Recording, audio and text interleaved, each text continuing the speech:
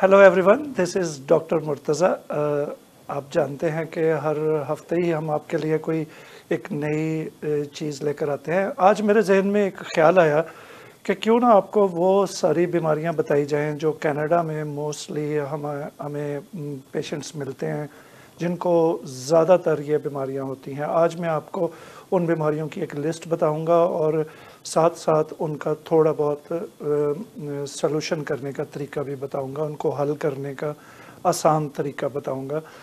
तो कनाडा के हवाले से जब हम बात करते हैं तो हमारे पास जो सबसे ज़्यादा पेशेंट्स आते हैं क्लिनिक पे, वो होते हैं थायराइड के।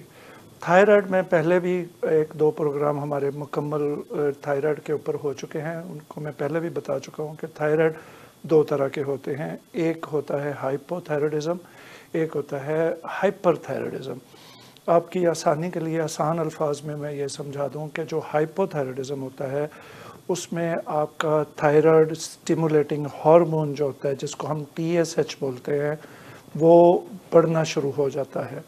टी एस एच लेवल जो आप टेस्ट कराते हैं जब भी तो वो बढ़ना शुरू हो जाता है और वो पाँच से ऊपर चला जाता है। समटाइम एक ऐसे भी पेशेंट मेरे पास आए, जिनका मैंने 183 टीएसएच देखा और ये बहुत ज़्यादा हाई था। थायराइड को तीन से ऊपर नहीं जाना चाहिए। वैसे उसकी बॉर्डर लाइन लिमिट जो है, जो रिटर्न हमारे सामने बुकिश नॉलेज की जब हम बात करते हैं तो वो है 5.3 लेकिन आपने इसको 5.3 टीएसएच तक इंतज़ार नहीं करना। जो ही आप फील करें कि मेरा थायराइड तो दो से तीन के दरमियान होता था, अब ये आज चेक करवाया तो थ्री पॉइंट कुछ आया, अगली दफ़ा चेक करवाया तो फोर पे पहुँचा हुआ है, अगली दफ़ा चेक करवाया तो फाइव के करीब है। तो आप उसको फ़ौर उसकी ट्रीटमेंट का बंदोबस्त शुरू कर दें।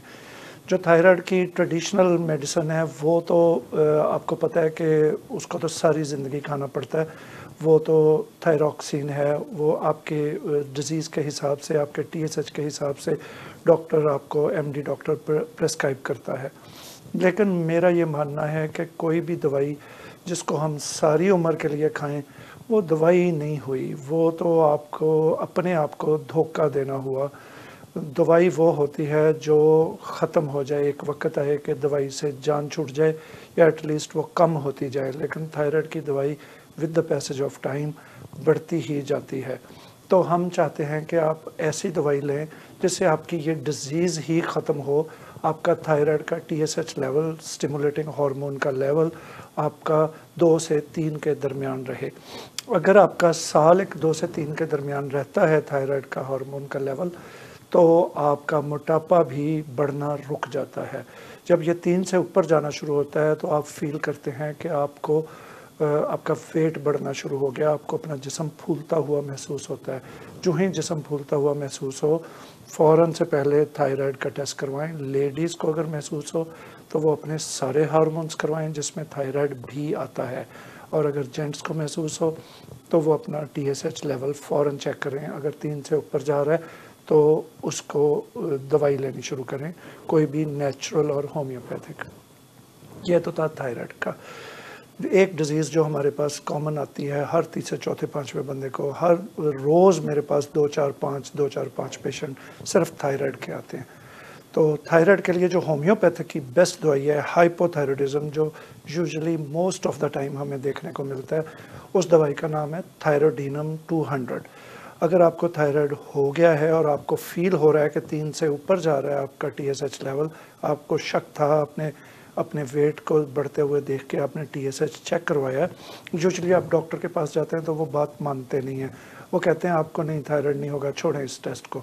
लेकिन थायराइड का टेस्ट कनाडा और अमेरिका में रहने वालों को हर तीन से छः महीने में चाहे उनको है, चाहे उनको थायराइड नहीं है, करा लेना चाहिए। अगर डॉक्टर आपका टेस्ट नहीं करवाता तो आप उसे कहें कि मैं खुद से पे करके अपना टेस्ट करवा लूँगा। कुछ ज़्यादा पैसे नहीं होंगे, तीस चालीस डॉलर्स होंगे तो आप खुद पे करके ये टेस्ट करवा लें। जो थायरोडीनम 200 है, उसको लेने का तरीका ये हाइपोथायराइड वालों के लिए मेडिसिन है, जिनको मोटापा आ रहा है। पाँच ड्रॉप्स आप रोज़ाना सुबह सुबह अर्ली मॉर्निंग ब्रेकफास्ट से पहले पानी में डाल के रोज़ ले लिया करें। और अगर आपका टीएसएच काफ़ी ज़्यादा है तो सुबह और दोपहर दो दफ़ा लिए जा सकते हैं। कुछ अर्सा फिर आहिस्ता आहिस्ता इसको एक दफ़ा पे कर दें और जैसे जैसे आप बेटर होना शुरू हो जाए, इसको एक दिन छोड़ के पे कर दें, फिर हफ़्ता छोड़ के पे कर दें, फिर कभी कभी वन एम की थायरोडिनम वन एम की एक डोज हफ़्ते दस दिन बाद एक दफ़ा ले ली। ये तो होम्योपैथिक मेडिसन थी। थायराइड ख़राब उस वक्त होता है जब आपका आयोडीन का लेवल डिस्टर्ब होता है इनसाइड आप आयोडीन लिक्विड में मिल जाती है बाज़ार से, उसका एक ड्रॉप इतने से पानी में डाल के वो भी रोज़ाना पीना शुरू कर दें तो आपको थायराइड में काफ़ी अफाका होगा। जो दूसरा है हाइपर थायराइडिज्म उसके लिए होम्योपैथिक एक दवाई है आयोडियम वन एम उसको जॉन्डम भी बोलते हैं वन एम में। उसकी एक डोज वन एम में अगर आप हफ़्ते में एक दफ़ा ले लें तो वो काफ़ी है। वो जो दूसरा बारीक करने वाला थायराइड जो होता है, जिसमें T S H level stimulating hormone level आपका रिड्यूस होता है, दो से नीचे आता है। जब आपको वो वाला थायराइड हो तो हफ़्ते में आप एक दफ़ा इसकी एक डोज आयोडम की ले सकते हैं। दूसरी जो कॉमन डिज़ीज़ है यहाँ पर मुझे कनाडा में आके मिली लोगों में, वो है माइग्रेन की। माइग्रेन का इशू यहाँ इतना ज़्यादा है कि हर दूसरे, तीसरे बंदे को माइग्रेन चौथे बंदे को माइग्रेन दिन में रोज़ उसी तरह थायराइड की डिज़ीज़ की तरह दो, तीन, चार पेशेंट माइग्रेन के आते हैं। मुझे ख़ुद एक दफ़ा फील हुआ कि मुझे एक साइड पे, अपनी लेफ़्ट साइड पे पेन हो रहा है। खैर, मैंने वो अपने जो दवाई है वो एक, दो दफ़ा ले ली तो ख़त्म हो गया। वो उसके बाद मुझे तो नहीं हुआ। लेकिन यहाँ कनाडा और नॉर्थ अमेरिका में रहने वाले लोगों को अक्सर माइग्रेन की शिकायत हो जाती है। माइग्रेन का बहुत अच्छा सलूशन है होम्योपैथिक में। फॉर एवर आपका माइग्रेन ख़त्म हो सकता है। इसकी बिल्कुल स्ट्रेस नहीं लेनी है आपने। अगर आपके नज़दीक कोई होम्योपैथिक अच्छा डॉक्टर है अच्छा डॉक्टर जो अच्छा डॉक्टर होगा, आपको उसका पता चल जाएगा कि ये कितना अच्छा इंसान है। जो जितना अच्छा इंसान होगा, वो उतना ही अच्छा डॉक्टर भी होगा। तो आप किसी अच्छे होम्योपैथिक डॉक्टर के पास जाएँ और माइग्रेन की दवाई लें, आपका माइग्रेन जड़ से ख़त्म हो जाएगा। दूसरी तरफ़ इसका कोई इलाज नहीं माइग्रेन का वो पेन किलर्स दे देते हैं। ये नहीं देखते कि माइग्रेन हो क्यों रहा है, पीछे क्या आयरन की कमी है, क्या ब्लड प्रेशर लो रहता है, क्या कोई डिप्रेशन है, क्या कोई एंग्जाइटी है, क्या बाइपोलर तो नहीं है, क्या नींद तो नहीं ख़राब हुई। वो इन चीज़ों पे गौर ही नहीं करते। वो आपको सिंपल पेन किलर लिख के दे देते हैं। जो आप लॉन्ग रन लेते रहते हैं तो लॉन्ग टर्म पेन किलर लेने का नुकसान है कि वो आपका किडनी वीक कर देती है। आपको लिवर फ़ंक्शन टेस्ट आपका ख़राब आने लगता है, आपका लिवर फैटी हो जाता है तो लॉन्ग टर्म आपने पेन किलर्स नहीं लेनी। होम्योपैथिक में माइग्रेन का बहुत आसान इलाज है। हमने उसका एक फार्मूला बनाया हुआ है, कोई काफ़ी सारी मेडिसिन मिक्स करके। तो मोटी मोटी मैं आपको एक, दो, तीन दवाइयाँ बता देता हूँ। वो अगर आप कहीं, कोई होम्योपैथिक डॉक्टर आपका वाकिफ़ नहीं है या करीब आपके शहर में नहीं है, जो लोग ब्रिटिश कोलंबिया में रहते हैं यहाँ पे वैनकूवर में हमारे नज़दीक या कनाडा में कहीं भी रहते हैं या अमेरिका रहते हैं, हम उन्हें भेज सकते हैं दवाई। लेकिन अगर आप नहीं ले सकते दवाई तो आप ख़ुद से दो, तीन दवाइयाँ मिक्स करके इसको आर्जी तौर पे आप ठीक कर सकते हैं। फिर जब आपका टाइम मिले, आप हमें फ़ोन कॉल करके तो हमसे दवाई वो मंगवा सकते हैं। नोट कर लें दवाई, इसकी जो सबसे अच्छी दवाई है वो है सेंगोनेरिया सेंगोनेरिया सेंगोनेरिया की पोटेंसी लेनी है थर्टी की। दूसरी इसकी जो बहुत अच्छी दवाई है वो है gelsemium three zero gelsemium three zero sanguinaria three zero lycopodium three zero ये आप तीन दवाइयाँ इकट्ठी कर लें। और इनको मिक्स कर लें और फिर इसके टेन ड्रॉप्स दिन में तीन चार दफ़ा लें, थोड़े से पानी में, एक घूंट पानी में डाल के। तो आपको वक्ती तौर पे इसका अफाका होना शुरू हो जाएगा। अगर आपको फिर भी फ़र्क ना पड़े तो एक और दवाई है जिसका नाम है स्पाइजिलिया। स्पाइजिलिया भी थ्री ज़ीरो की पोटेंसी में लेके थर्टी की पोटेंसी में, वो भी इसके अंदर मिक्स कर दे। अगर फिर भी आपको इससे काफ़ी फ़र्क पड़ जाएगा। अगर पूरी तरह ठीक ना हो तो फिर आप हमें कॉल कीजिए। हम आपको मेडिसिन भेज देंगे। अगर आपके पास कोई प्रॉब्लम है, आप नहीं चाह रहे कि आप मेडिसिन पे इन्वेस्ट करें, आपके पास कोई फाइनेंशियल इशू है तो आप सिर्फ़ सिंपल फ़ोन कॉल करके एक बताएँ कि मैं डॉक्टर मुर्तज़ा का दोस्त बोल रहा हूँ या बोल रही हूँ। तो हमें दवाई फ्री ऑफ़ कॉस्ट चाहिए तो आपको दवाई मिल जाएगी। ये कोई इशू नहीं है, लेकिन आप अपना इलाज ज़रूर करें। ये तो थी दूसरी बीमारी जो यहाँ पर काफ़ी कॉमन है, आम है। एक तीसरी बीमारी कनाडा में काफ़ी कॉमन है, उसका नाम है एलर्जी आपको पता होगा यहाँ पर पोलन एलर्जी या डस्ट एलर्जी की काफ़ी ज़्यादा लोगों को शिकायत है। जब एलर्जी हो जाती है उन्हें तो पोलन एलर्जी के बाद अगला स्टेप होता है कि उनकी ये वाली जो जगह है, ये वाली, ये बंद बंद होना फील हो जाती है और यहाँ पर उन्हें पेन भी होना शुरू हो जाती है। इसके काफ़ी सारे सीजन्स यहाँ होते हैं। एक सीज़न सितंबर अक्टूबर से शुरू होता है इसका, एक सीज़न इसका मार्च अप्रैल से शुरू होता है।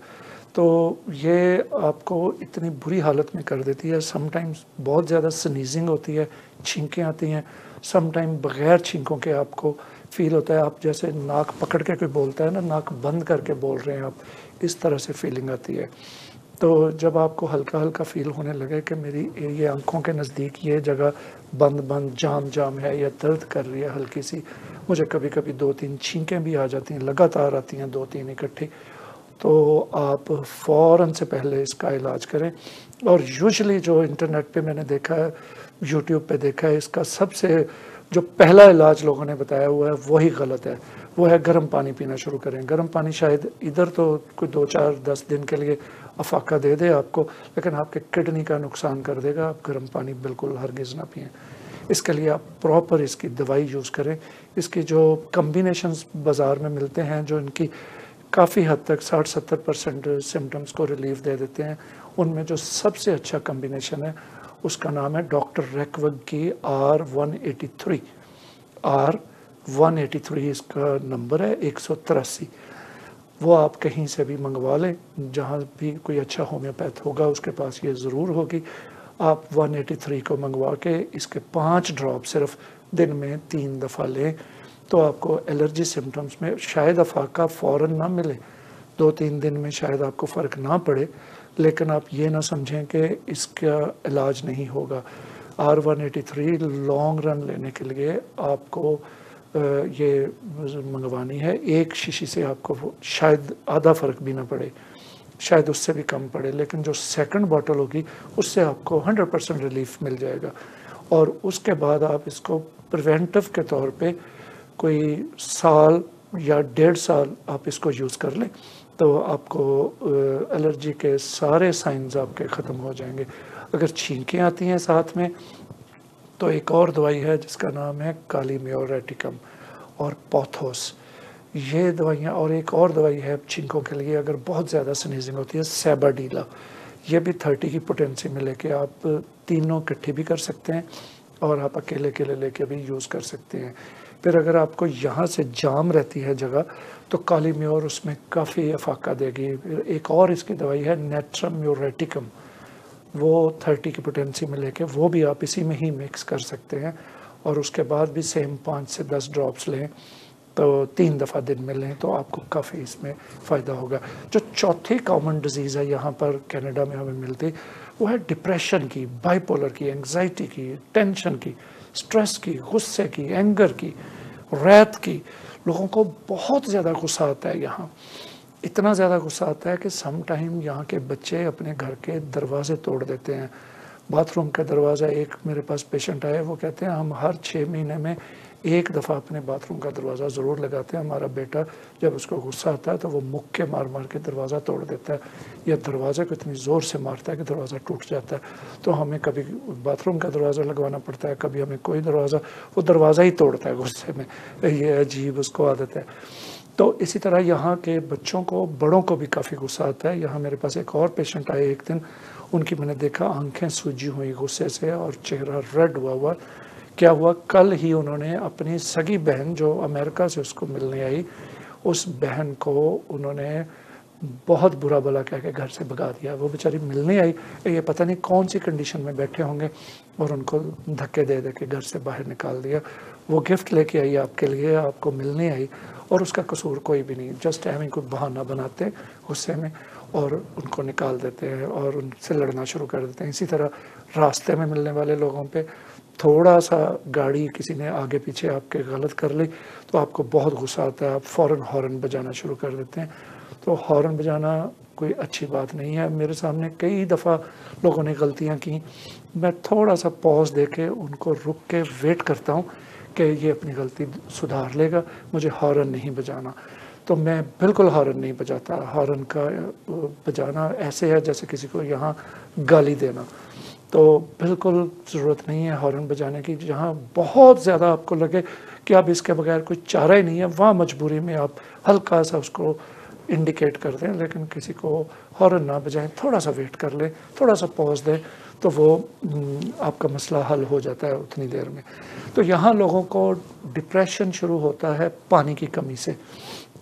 जब आप पानी कम पीते हैं तो आपके जिसम का एक एक खुलिया ड्राई होना शुरू हो जाता है स्किन से लेकर आँखों तक, कानों तक, मुँह खुश्क रहता है, होंठ खुश्क रहते हैं, आपका ब्रेन भी इसी तरह से ड्राई हो जाता है ब्रेन को सप्लाई पूरी नहीं मिलती, आपकी बॉडी को एक एक चीज़ की बैलेंस्ड ज़रूरत है। अगर कोई शख्स तीन, साढ़े तीन लीटर पानी नहीं पीता तो इसका मतलब ये हुआ कि वो अपनी बॉडी को डिहाइड्रेट कर रहा है। तो हाइड्रेशन की हर चीज़ को ज़रूरत है स्किन से लेकर आँखों तक, दिमाग तक। तो जिन लोगों को कम पानी पीने की आदत है, उनका ब्लड प्रेशर भी बढ़ना शुरू हो जाता है और उनका किडनी भी वीक होना शुरू हो जाता है। उनको बिला वजह डिप्रेशन रहना शुरू हो जाता है, उनको बिला वजह गुस्सा आना शुरू हो जाता है। सबसे पहले तो अपना पानी पूरी करें। दूसरे लेवल पे एक होम्योपैथी की बहुत अच्छी मेडिसिन है, उसका नाम है इग्नेशिया वन एम उसके चार पाँच ड्रॉप्स आप पहले शुरू में सात आठ दिन रोज़ ले लें उसके बाद हफ़्ते दस दिन बाद एक दफ़ा ले ली या दो दफ़ा ले ली। जब ज़्यादा गुस्सा आया, उस वक्त ले ली।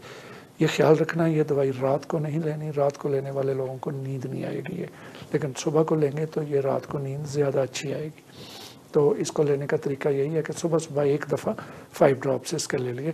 आपका एंगर मैनेजमेंट काफ़ी हद तक बेहतर हो जाएगा। हमारे पास तो खैर इसके डिफरेंट प्रिकॉशंस हैं। रो, जिनको रोना आता है उनकी और दवाइयाँ है, जिनको खुदकुशी करने को दिल करता है, उनकी और दवाइयाँ है जो गुस्से में टक्करे मारते हैं, उनकी और दवाई है जिनको ख्वाब में लड़ाइयाँ नज़र आती हैं या लड़ते हैं, उनकी और दवाई है या जिनको डिप्रेशन है, उनकी और दवाई है, जिनको एंगजाइटी है, उनकी और दवाई है, जिनको बाईपोलर है, उनकी और दवाई है। तो इस तरह से हमारे पास तो डिफरेंट चीज़ों के लिए डिफरेंट चीज़ें वो हम सम टाइम मिक्स करते हैं, ज़रूरत के मुताबिक सिम्टम्स के मुताबिक सम टाइम हम उन्हें अकेले अकेले भी देते हैं। बहुत सारे लोग जो मेरे पास आके बैठ के बिला वजह रोना शुरू कर देते हैं। तो मैं आगे से हंस पड़ता हूँ। वो कहते हैं, मैं रो रहा हूँ और आप हंस रहे हैं। मैं उन्हें अपने असिस्टेंट को कहता हूँ कि उसको फलानी दवाई एक ज़रा पिलाओ। वो दवाई पिलाने के पाँच दस मिनट के बाद वो भी हंसना शुरू हो जाते हैं। वो कहते हैं, मैं रो रहा था, वाकई रो रहा था। तो हमारे पास तो हर तरह की चीज़ों के लिए हर तरह की डिफरेंट दवाइयाँ इस दवाई का नाम है सेट्रामोनियम।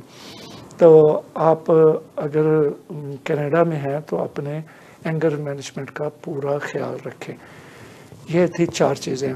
अगली दफ़ा उम्मीद है कि हम आपको अपने शो में इसके बाद जो कॉमन चार पाँच बीमारियाँ वो बताएँगे। फ़िलहाल तो यहाँ के रहने वालों के लिए ये अगर दुनिया में किसी भी कोने में आपको इनमें से कोई प्रॉब्लम फील हो रहा है तो आप इसी के मुताबिक उसका इलाज करें। उम्मीद है कि आपको इससे काफ़ी फ़ायदा होगा। और इसके अलावा आपके जो क्वेश्चंस हमें आते हैं, वो इतने ज़्यादा होते हैं कि मैं उनको यूट्यूब पे या फेसबुक पे उनका जवाब नहीं दे पाता तो मैं उसके लिए आपसे बहुत शर्मिंदा हूँ माजत खा हूँ। हम कोशिश करते हैं अपने प्रोग्रामों में आपके क्वेश्चंस के मुताबिक ही प्रोग्राम डिज़ाइन करें और उनके जवाब वहीं अपने प्रोग्रामों में दे दें। जैसे आज, अभी के कुछ देर बाद हमारा एक प्रोग्राम है सांझी गलबात वो लाइव प्रोग्राम है। आप उस प्रोग्राम में अपने जितने सवाल होते हैं, आप उसमें कॉल करके वहाँ नंबर आ रहे होते हैं, स्क्रीन पे चार बजे होता है वो फ्राइडे को, वैनकूवर टाइम पे। तो आप उसमें अपने वो सवाल पूछ सकते हैं तो आपको हम कोशिश करते हैं कि मैक्सिमम जवाब दे दें। लेकिन अगर कोई रह जाता है तो मैं उसके लिए बहुत शर्मिंदा हूँ। बिज़ी इतने हैं कि मुझसे वो पढ़ा ही नहीं जाते मेरी बहुत ख्वाहिश होती है कि मैं जवाब दूँ। मेरा ख्याल है कि दो तीन लोगों को मैंने जवाब दिया भी होगा। जब कभी मैं खाना खा रहा होता हूँ तो देख लिया तो मैंने फटाफट टाइप करके जवाब दे दिया। तो ये दो चार लोगों को ही दे सकता हूँ, इससे ज़्यादा मुझसे दिया नहीं जा रहा। सवाल तो हज़ारों के हिसाब से। इसके लिए मुझे पूरा एक बंदा रखना पड़ेगा तो वो बंदा फिर अपनी मर्ज़ी से ही जवाब देगा, फिर वो वाले जवाब नहीं होंगे जो मैं चाहता हूँ। तो आपने अगर उसके जवाब लेने हैं तो आप प्रोग्राम में डायरेक्ट कॉल कर लें तो ज़रूर मैं इंशाल्लाह उसका जवाब दूँगा। अब एक आखिरी बात जो हम हमेशा कहते हैं कि आपको जाते हुए एक मिनट की एक मैं बात बता के जाता हूँ। उस पर कोशिश किया करें, अमल करें प्लीज़ आपकी ज़िंदगी भी सुखी होती है, दूसरे की भी आपके इर्द गिर्द जितने रिलेशन हैं आपके, उनकी भी सुखी हो जाएगी। एक चीज़ होती है ओवर थिंकिंग जो लोग ओवर थिंक करते हैं ना, वो डिप्रेशन में चले जाते हैं। Over thinking always lead towards stress and depression और सैडनेस जो लोग ओवर थिंक करते हैं, वो हमेशा सैड रहते हैं, परेशान रहते हैं। ओवर थिंकिंग करना बंद कर दें। जो आपके इख्तियार में नहीं है, उसको ऊपर वाले पे छोड़ दें। जो आपके बस में नहीं है, उसको ऊपर वाले पे छोड़ दें। अगर आप एक चीज़ को लेके उस पर घूमना, दिमाग को घुमाना शुरू कर देंगे तो आप सैड हो जाएँगे। सैड होंगे तो फिर वो आदत बन जाएगी। एक दिन का सैड होना, फिर स्लोली स्लोली वो हर टाइम का सैड होना आपको बना देगा। तो बेहतर है कि ओवर थिंकिंग को आज से ही छोड़ दें। ज़्यादा सोचना अच्छा नहीं होता। सोचें रिसर्च पे सोचें। रिसर्च करें, कोई नई चीज़ ईजाद करें इन्वेंशन करें, लेकिन ओवर थिंकिंग ना करें। तो आज के लिए इतना ही। अपना बहुत सारा ख्याल रखिएगा। अपने लिए तो आप दुआ करते ही होंगे, मेरे लिए भी दुआ कीजिएगा। तो फिर मिलते हैं किसी और किसी और बुरी बीमारी के अच्छे हल के साथ मुझे दुआओं में याद रखिएगा और अपना ख्याल रखिएगा। Thank you very much